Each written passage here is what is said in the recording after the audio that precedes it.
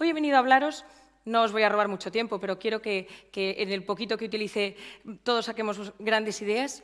He venido a hablaros sobre ese yo que todos tenemos dentro, ese yo que vale la pena, esa, esa versión que todos tenemos dentro y que por desgracia hay muchísimas veces que no sale. Y no solo no sale, sino que además nos tira para abajo. ¿Y qué es esto? El poder sacar lo mejor de uno mismo. Para sacar lo mejor de uno mismo, lo primero de todo es que tenemos que tener muy claras varias ideas. La felicidad es el gran tópico. Todo el mundo la anhela, todo el mundo lo desea y, sin embargo, muy poca gente se considera feliz. Nosotros en, la consulta, cuando nos viene un paciente nuevo, llegamos y, bueno, pues nos metemos en su vida. Cuéntame qué te pasa, cómo te sientes, cómo estás y vamos pues entrando en las profundidades de, esa persona. Y a mí, desde hace ya bastante tiempo, la gente viene y me dice, Isabel, tengo depresión. Entonces a mí al principio decía, bueno, pues qué alegría, ya me hacen el trabajo, yo ya mm, ni diagnosticar casi. Sin embargo, me he dado cuenta que no es así. Lo que la gente llama depresión es que no son felices. Lo que está pasando a día de hoy en la sociedad es que la gente no es feliz. La felicidad no es algo estático, no es esto, sino que es muy dinámico. Y ese dinamismo es a lo largo de toda la vida. Sabiendo que, sí o sí, tenemos que vivir en el presente. Y este es el grandísimo problema que está pasando a día de hoy. Es decir, cada vez vivimos más en el futuro. Y la felicidad es estar instalado en el presente, habiendo cerrado las heridas del pasado, y porque todos tenemos heridas, y, saber aceptarlas, y mirar hacia el futuro. ¿Qué pasa? Que vivimos en el siglo XXI y es mm, la sociedad del ayer. Es decir, todo lo queremos para ayer. Vivimos en una sociedad que es mm, lo más rápido que se haya visto nunca. Entonces, ¿qué ocurre en esta sociedad? Que no nos permitimos parar, no nos permitimos estar en lo que estamos. Nosotros en la consulta, en muchísimas ocasiones, tenemos que decirle a los pacientes, tienes que parar, tienes que aprender a estar en lo que estás haciendo desde disfrutar de una ducha, disfrutar del café de la mañana, disfrutar mm, del periódico, disfrutar de mm, tus hijos, pero aprender a parar. También tenemos que mm, tener en cuenta que como vivimos en, en, una sociedad que es de cara para afuera, esto suele costar mucho. Y no solo cuesta mucho, sino que también se tiene muy en cuenta en las comparaciones. Entonces, llegamos a un extremo en donde vivimos siempre con ganas de hacer más. Es lo que se llama a día de hoy la cronopatía. Es decir, estar constantemente con la necesidad de aprovechar el tiempo, de que todo mi día mm, haga cosas y esas cosas tengan una función. Por tanto, decir, no, tengo que parar, tengo que saber disfrutar del momento, habiendo, insisto, superado el pasado y, sobre todo, mirando hacia el futuro. Y una vez que tengamos mm, un poco asentado que esto es lo que nos va a hacer sacar lo mejor de nosotros, yo aquí, nosotros en, la consulta somos mucho de mm, pequeñas pinceladas, pongo aquí lo que yo llamo una ecuación de sacar lo mejor de ti. Vamos a irlo desgranando, pero quiero que penséis todos vosotros a día de hoy qué cosas os hacen felices. La primera de, todas es la que nosotros llamamos el proyecto de vida. Decía Séneca, no hay viento favorable para una persona que no sabe a dónde va. Y el proyecto de vida es esa idea, ese camino que yo he trazado en mi vida o que yo he empezado a pensar que podría hacerme feliz y podría ser, bueno, pues un poco los, eh, los hitos de mi vida. Y nosotros siempre hablamos de cuatro puntos fundamentales. El amor, el trabajo, la cultura y la amistad. De todos ellos podríamos hablar largo y tendido, pero sí es verdad que me gustaría que eh, fuésemos un poquito eh, desgranándolas. Lo primero de todo, el amor. Y el amor a mí me gusta dividirlo en cuatro. La primera de todo es el amor a uno mismo. Qué importante es la autoestima. Y la autoestima es fundamental en nuestra vida porque nos hace tirar para arriba o tirar para abajo. Y en esto es importantísimo primero conocerse. Yo tengo muchísima gente en la consulta que me dice, no, no, si yo ya sé perfectamente cómo soy. Y pasadas dos sesiones dices, bueno, mm, entre lo que tú pensabas y lo que realmente eres no tiene nada que ver. Entonces, el ser humano nos tenemos que conocer y, tenemos que conocer las cosas buenas y, las no tan buenas, porque somos humanos. Entonces, importantísimo conocerse. Y una vez que nos hemos conocido, empezar a comprendernos. Mi padre dice una frase que a mí me gusta mucho, que es, comprender es aliviar. Fijaros a partir de ahora, en el momento en que vosotros comprendéis algo porque lo habéis conocido, decís, pues claro, es verdad. Y en ese punto podemos pasar a aceptarnos. Qué importante es a día de hoy saber aceptar esas limitaciones, esas cosas mal hechas, eh, eso que nos ha ocurrido en la vida que pues no, no dimos la talla, no estuvimos bien, pudimos hacerlo mejor.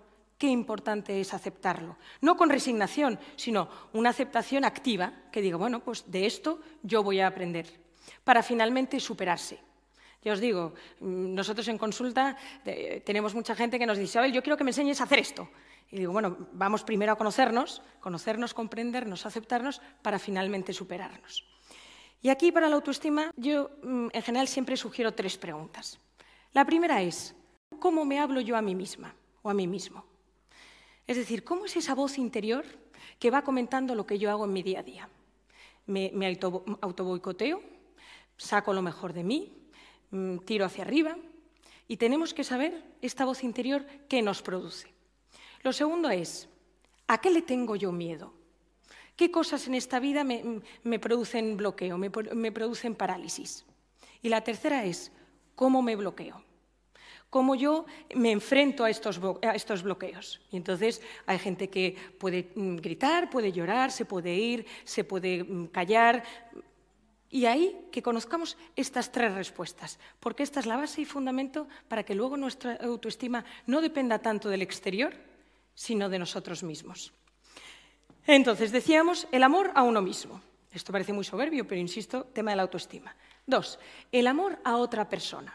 Y aquí sí que podríamos estar hablando eh, muchísimo rato y no lo voy a hacer, pero qué importante es acertar en la elección afectiva. Decía Don Quijote, al que acerta en el casar no le queda en qué acertar. Entonces, saber que nuestra elección afectiva va a ser clave y fundamental para toda nuestra vida. Es la decisión. Nosotros podemos cambiar de ciudad, de trabajo, mm, podemos cambiar de, país, de amistades, pero esa persona que nosotros le entregamos el corazón, esa persona en la que nosotros compartimos una intimidad, se quedará siempre, aunque solamente sea en el recuerdo, pero es un recuerdo emocional. Entonces tenemos que saber que nuestra elección afectiva a día de hoy tiene que ser clave, y más en un mundo en donde bueno, pues, eh, todo, todo lleva a pues, dejarlo, no luchar por la pareja, cambiar de pareja, etcétera, etcétera. Entonces, darnos cuenta de la importancia que tiene a día de hoy el que nosotros pues, sepamos aunar corazón y cabeza en esa elección afectiva. El tercer amor, uno mismo, a otra persona, el amor a algo trascendente. Es decir, el ser humano es un ser interior. Nosotros tenemos vida interior, alma, y esto es lo que nos diferencia de los animales, una de las cosas. Por tanto, nosotros tenemos que tener una verticalidad en la vida, tenemos que ver más allá, tenemos que querer, gozar y gustar de algo que sea intangible. Los que tengan creencias religiosas a esa religión, los que, crean mm, en algo superior, en ese superior. Es decir, saber, querer y cuidar es intangible que hace que nosotros tengamos una amplitud de miras. Y por cuarto, un amor bien eh, establecido a nuestro vínculo primario. ¿Quién es nuestro vínculo primario? En general suelen ser nuestros padres. ¿Cuántas relaciones de padres mm, o, cuántas malas relaciones de padres con hijos han afectado luego al comportamiento, a la conducta, a la elección afectiva de esa persona? Entonces, tenemos que saber que las relaciones de los padres con los hijos es complicada pero no porque sea complicada, sino porque es que mm, ningún padre nace sabiendo y ningún padre nace sabiendo ser padre. Entonces, al final ahí se crea un dinamismo y una relación que es muy complicada. Entonces, solo con esto ser consciente de, lo importante que es que ese vínculo primario esté bien establecido. De hecho, de cómo se quieran los padres entre ellos y de cómo los padres quieran a sus hijos, dependerán muchísimas decisiones de ese hijo el resto de su vida, de comportamiento, de conducta, de elección afectiva, es decir, afecta a muchísimos ámbitos y planos de la persona. Decía, amor, trabajo. Y aquí nosotros siempre diferenciamos dos grandes patas. La primera es algo que me guste, hacer algo que realmente me guste y que disfrute, y algo que me reporte económicamente. El que solo trabaja por dinero termina totalmente amargado. Y el que solo trabaja por corazón, hay un momento dado que no se siente valorado. Entonces tenemos que hacer que el trabajo sea eh, el ámbito en donde nosotros saquemos nuestro mejor yo. Y no es tanto hacer lo que uno le gusta, sino gustar lo que uno hace. Y ahí hay que meterle pasión, el aprender a estar en las pequeñas cosas. Y si esas pequeñas cosas es pasar unos números a un Excel, el ponerle cara a esos números, el ponerle mm, eh, trascendencia a esos números, el pensar más allá de esos números. Digo los números como puede ser mm, en el ámbito médico, en el jurídico, los abogados, lo que sea. Pero el saber que ahí hay que meter mucho corazón porque nosotros pasamos entre un 60 y un 73% de nuestro tiempo trabajando. Lo tercero es la cultura. La cultura es amplísima. Yo siempre digo que la cultura tiene dos patas. Saber algo sobre todo y todo sobre algo. Y si además ese todo sobre algo no es de nuestro trabajo, entonces nos hace personas mucho más completas. ¿Y qué es saber algo sobre todo? Que no puede ser que a día de hoy no sepamos un poquito de historia, un poquito de literatura, algo de música, algo de vinos, algo de decoración, algo de cocina. El ser humano tiene que conocer, tiene que gustar el conocimiento. Y la cultura es lo que nos abre luego a tener hobbies, a disfrutar de la vida, a sacar parte de nuestra creatividad, es decir, de utilizar todo, nuestro hemisferio derecho. Y esto va muy de la mano con la amistad. Qué gran problema el de la amistad a día de hoy. ¿Cuántas personas, cuántos jóvenes veo yo hoy en día en la consulta de mm, tengo 10.000 seguidores, tengo no sé cuántos seguidores, tengo 1.000 amigos en Instagram? y a la hora de la verdad cuántos están ahí. Vivimos en una sociedad en donde mm, no se conecta el tú a tú. Nosotros estamos mucho más cómodos con una pantalla. Entonces tenemos que volver a conectar con nuestros amigos. Y ahí es tener cuatro, cinco, seis, siete íntimos, en donde puede estar un hermano, una hermana. Entonces, saber trabajar muchísimo la amistad. La amistad es el, plato fuerte de la vida. Lo segundo, hemos dicho el proyecto de vida en nuestra ocasión, lo segundo es los conocimientos. Y esto iba muy ligado a la, cultura que os he dicho. Vivimos en, una sociedad en donde salimos de la universidad y ya no volvemos a tocar un libro. Y no puede ser. Tenemos que estar en constante movimiento, en constante aprendizaje. Habrá cosas que nos gusten más, cosas que nos gusten menos, pero qué importante es descubrir, curiosear, mm, gozar por aprender cosas distintas, porque de esto hace que nosotros vayamos abriendo nuestra amplitud de miras. Gracias al conocimiento, nosotros somos capaces de poder relacionar mm, conceptos, de vernos a nosotros mismos, de entender qué, nos pasa. Y por eso es importantísimo que nosotros saquemos ese curioso que llevamos dentro, que trata muchas veces de tirarnos para abajo, pero que también nos hace el abrir nuestro campo de miras y aprender mucho más. Y lo tercero que hemos dicho en nuestra ecuación, proyecto de vida, conocimiento y trabajar la voluntad. Yo recuerdo, tendría siete, ocho, nueve, eh, cuando mi padre me dio un libro y me dice, Isabel, la voluntad. Y desde entonces la voluntad nos ha acompañado allá donde vamos. Y yo he escuchado muchas veces a mi padre decir que, con la voluntad se llega donde uno quiere.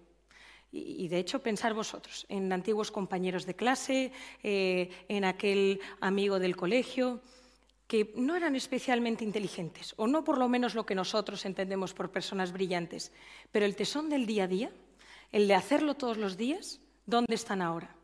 Y eso es la voluntad, es decir, saber vencerse en lo pequeño, el decir, venga, aunque no me apetezca, lo hago, venga, aunque no pueda, pues, pues lo intento.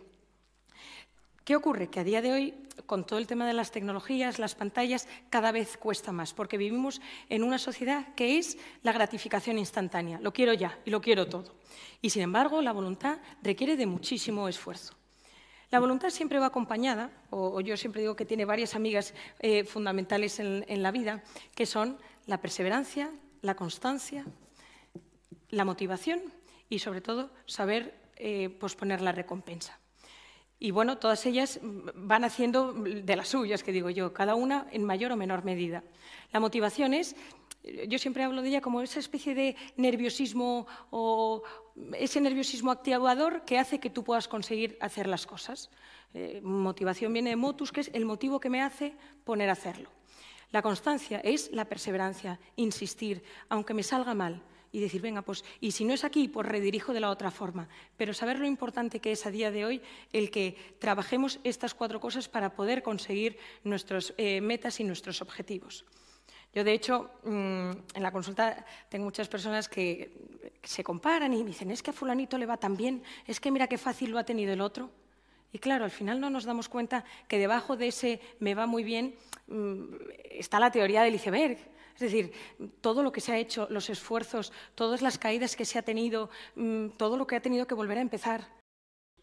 Em, dice eh, un proverbio, un proverbio chino, no lo harás y no comenzarás si nunca das el primer paso. Y ese es el primer paso, el decir, voy a por ello. Y para ello tenemos, lo primero de todo, que marcarnos metas y objetivos. Nosotros en la consulta eh, hacemos lo que llamamos la tabla de ejercicios de la voluntad. Y entonces, eh, porque yo tengo mucho paciente que me dice, no, bueno, pues Isabel, yo em, quiero hacer un triatlón. No, he hecho deporte en mi vida, pero quiero hacer un triatlón. Entonces, claro, para tener esa gran eh, meta tenemos que ir consiguiendo objetivos. La meta, algo grande, intangible. Y yo ahí siempre digo, soñad, soñad, intentarlo. Vamos a conseguir esa meta poniéndonos objetivos. Son mucho más concretos, mucho más específicos y de pequeños objetivos vamos a ir consiguiendo las, las metas. Porque de todo esto lo que vamos a conseguir es realmente tener cierto control no solo de nuestro comportamiento, sino también de nuestros pensamientos, porque muchas veces son los pensamientos los que nos tiran, por eso os decía la voz interior anterior, lo que nos tiran a no hacer las cosas a, decir, mejor no, no voy a poder, mm, esta persona es mejor que yo. Y sin embargo, está dentro de nosotros, porque todos tenemos ese motus interior. Y todo esto multiplicado por la pasión. Los conocimientos suman, el proyecto de vida suma, eh, la voluntad suma, pero todo no tiene nada que ver si le metemos pasión. La pasión es la sal de la vida, lo que da, lo que da el gusto a la vida.